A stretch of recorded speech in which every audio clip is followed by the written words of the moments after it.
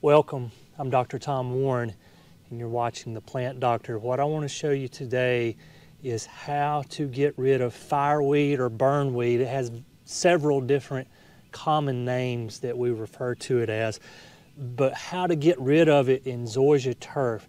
This will also work for Bermuda grass as well, the same process. Uh, what we're going to be using today is rated for use on zoysia grass as well as Bermuda grass. But fireweed, fireweed is going to be one of these weeds that we cannot control with the pre-emergent. The reason being is it has the ability to germinate in the thatch layer. It does not need soil contact in order for it to germinate, which makes it very difficult to control with the pre-emergent. The reason being is pre-emergents work with the existing soil to uh, help negate the germination of weeds. There is a, a newer pre-emergent out that has some limited success with controlling fireweed and that's going to be Specticle. I believe the active in Specticle is uh, called Indaziflam. Uh, here on this turf, I, in the past, I've used prodiamine mainly. I've used a little bit of pendimethalin on this turf. I've had really good results with that, but it does not control fireweed and Specticle Flo is supposed to give you some control.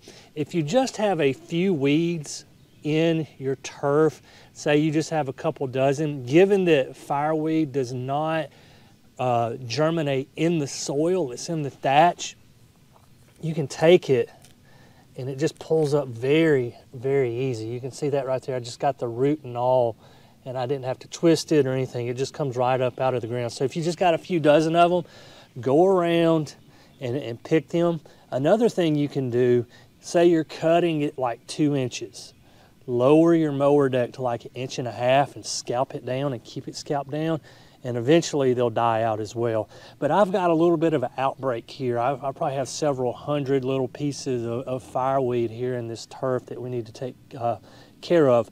I'm going to show you the chemical that I'm going to use. I'm going to show you how to spray it. Hang with me until the end and I'm going to show you the post-spray results 24 hours afterwards. Let's get started. And so the product that we'll be using is just a three-way. It has 2,4-D and it has dicamba in it. And you can pick this up anywhere. Um, I'll leave a link down in the description below. You can buy some off of Amazon and it'll help us out here just a smidge on the channel if you use our link. But for this particular concentration of three-way, we're going to use 0.75 ounces of product to one gallon of water in our tank. I've already got about a half gallon of water in here. I went ahead and put that in. And what I like about this bottle, I'm gonna go ahead and show you here. I'm gonna get close. This one comes with like a, a pre-measuring. You got a half ounce and then you have a one ounce. So all I'm gonna do is I'm gonna take this off and squeeze the bottle till I get about halfway in between the half and the one ounce. So about right there. I'm gonna take the lid. We're gonna pour that in there. Now that three quarters of an ounce, this bottle gives me a range. So I, I can do three quarters of an ounce all the way up to like 1.2 ounces per thousand square feet of, of water with this product. Being that we're, we're spraying fireweed, Fireweed is very susceptible to 2,4-D, does not take a lot at all. And when I can, I like to use the bare minimal of product that I can. For one, I'm just not spraying it all over in the environment, but also I'm saving myself a little bit of money as well. So we're gonna put another half gallon of water in this and we're gonna go over here and we're gonna spray some weeds. A pro tip for you before we get to spraying is this. Before you spray on your turf, find an area on like a driveway or a patio and just do a little spray check to see your pattern for your spray. I want more of a concentric, narrow spray pattern here because one, I don't want to spray the entire yard. I don't want to miss the entire yard. I, am hitting very specific spots in the yard. Two, 2,4-D is systemic, meaning that the plants that it affects, it can be taken up by the roots. This is just not a foliar herbicide.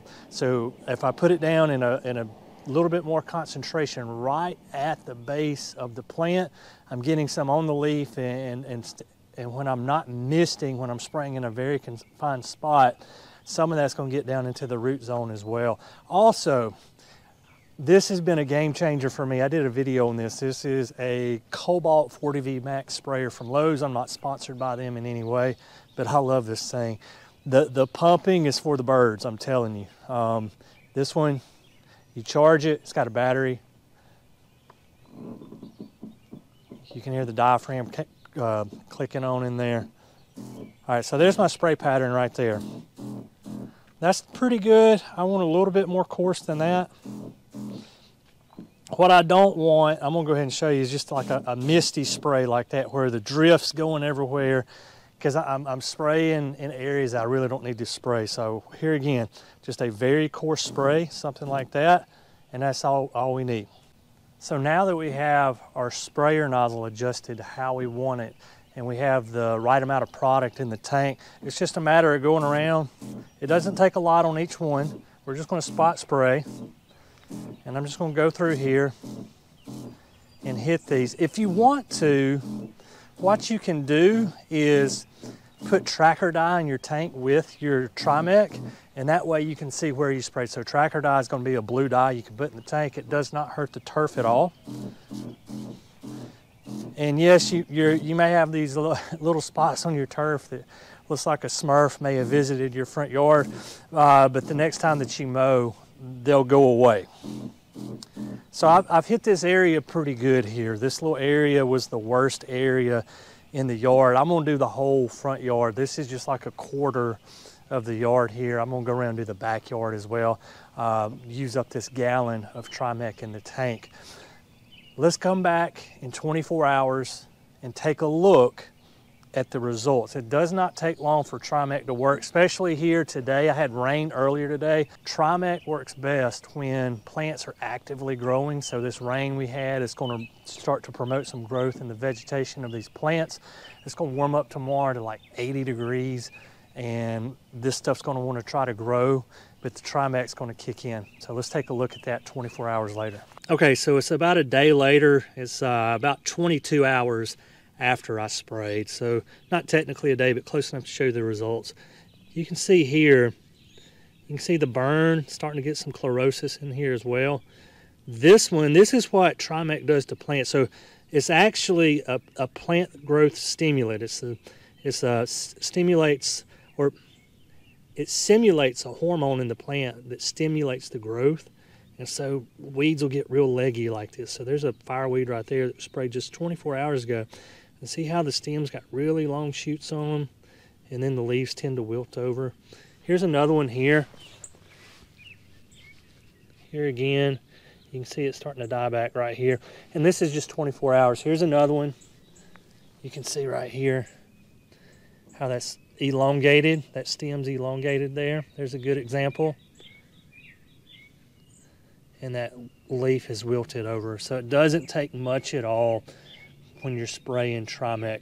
As always, thank you for watching The Plant Doctor. And until next time, happy gardening.